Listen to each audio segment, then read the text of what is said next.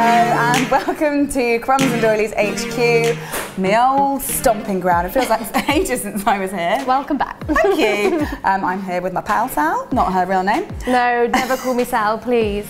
Anything but. Anything? well, maybe. Excellent. Um, so there's a good reason why I'm here, and that is because we have just launched a bunch of new stuff on the cupcakejemma.com website. You might have seen a bit, few bits and pieces from some of the videos that Sally's been doing while I've been away, uh, and I thought it'd be really cool to show you how to use one particular item, yes. and that is this piping nozzle set. Yeah, this is awesome. I've used it a few times in videos before, but we're going to show you how to use all the nozzles and get great decoration kind of skills.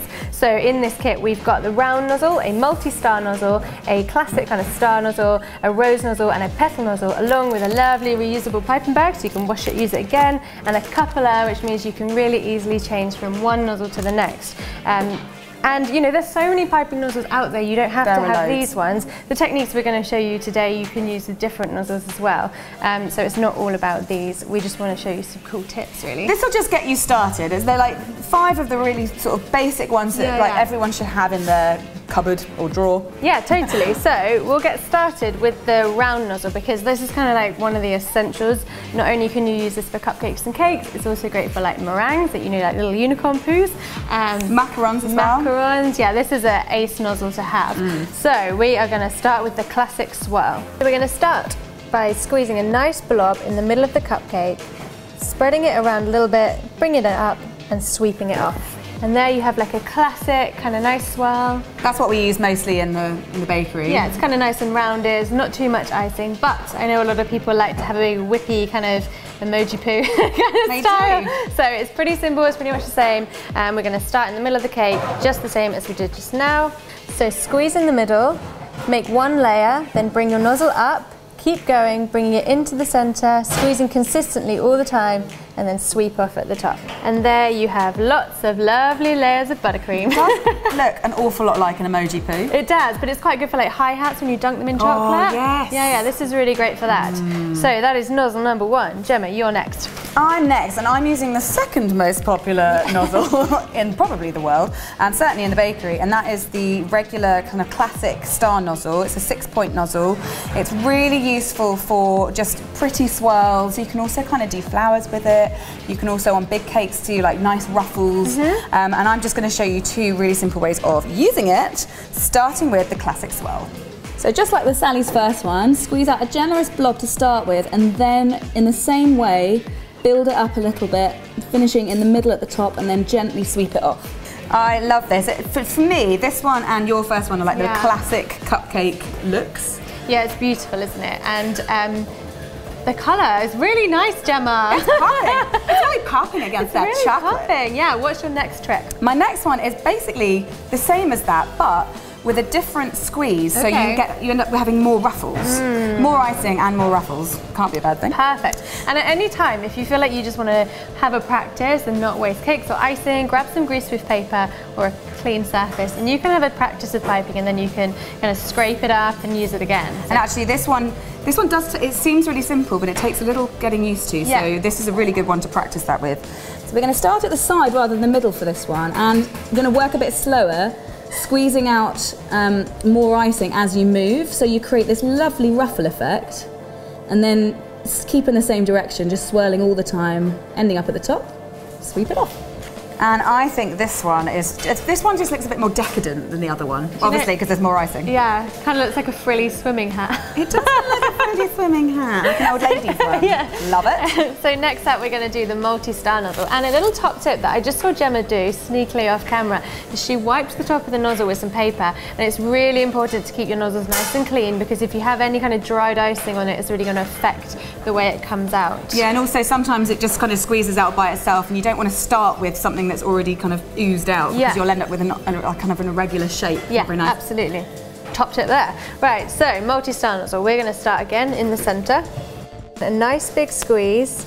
Go around the edge of it and squeeze consistently all the time. Then come up into the centre, all the way up to the top and sweep off.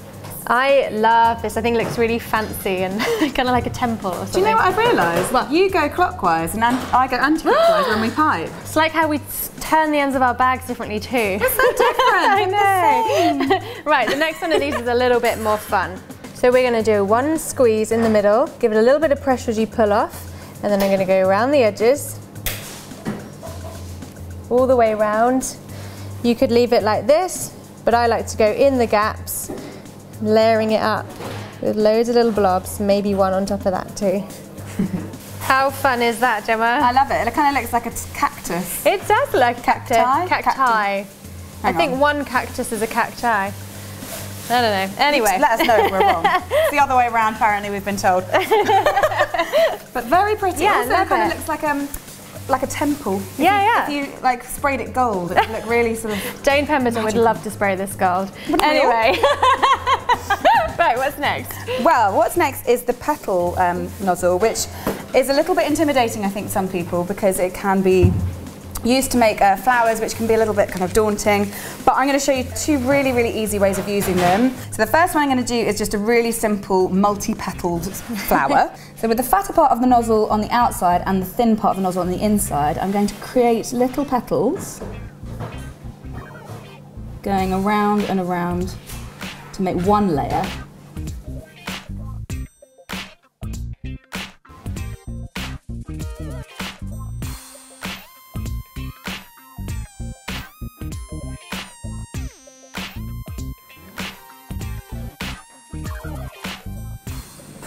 And then I'm going to change my colours to get a bit more drama.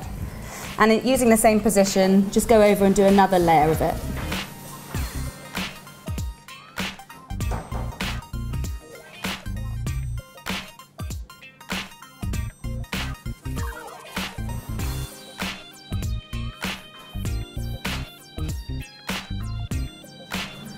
And then to finish it off, just to make it look a little bit more like a flower, I've got some little beads I'm going to pop in the middle.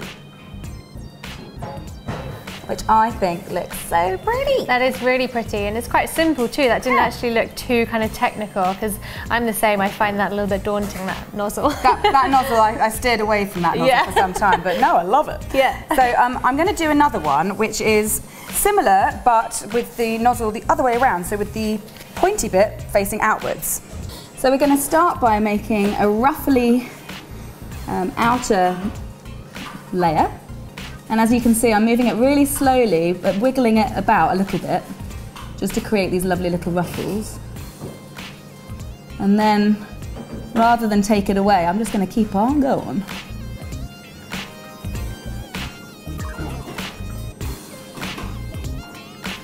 And then finish off neatly. And then if you want, you can put some little pearls in as well. Aww. That's. So pretty. Isn't This it? would be really good for like a florally kind of cupcake, like a vanilla rose or lavender maybe. Yeah. You know, that would be Well, actually, you can with all these nozzles, you could create a kind of a bouquet almost You with loads of different could. kinds of flowers. Yeah, and another one that's really good, kind of simple, a bit simpler than that of getting like a floral kind of effect, is the rose nozzle. Um, you might have already seen Jemma use this one. We do this a fair bit at the bakery. Super, super simple, but it gives a great effect. So we're going to start in the middle. So start in the middle with a nice big splodge, and then you're going to wrap around it, keeping really close to the center each time. Letting the shape wrap around itself and it creates this really lovely rose and I'm just going to sweep off in the same direction. And that is so simple, but it looks so kind of fancy and It delicate.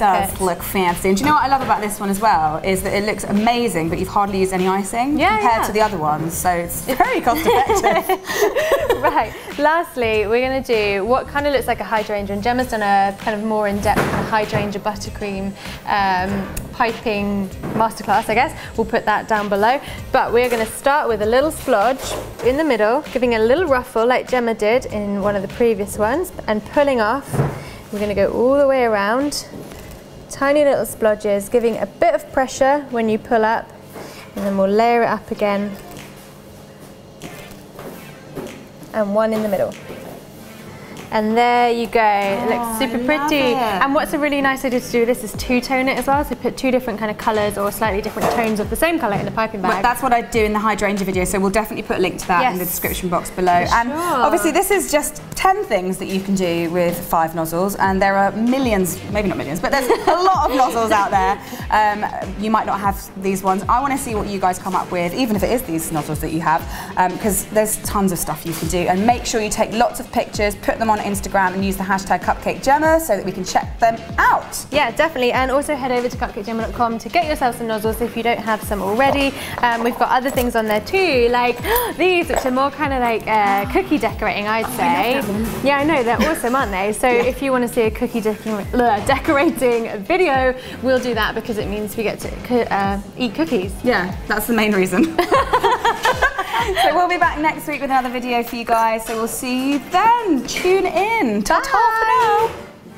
What's your favourite? That one. Oh, mine too. It's so pretty. I love it.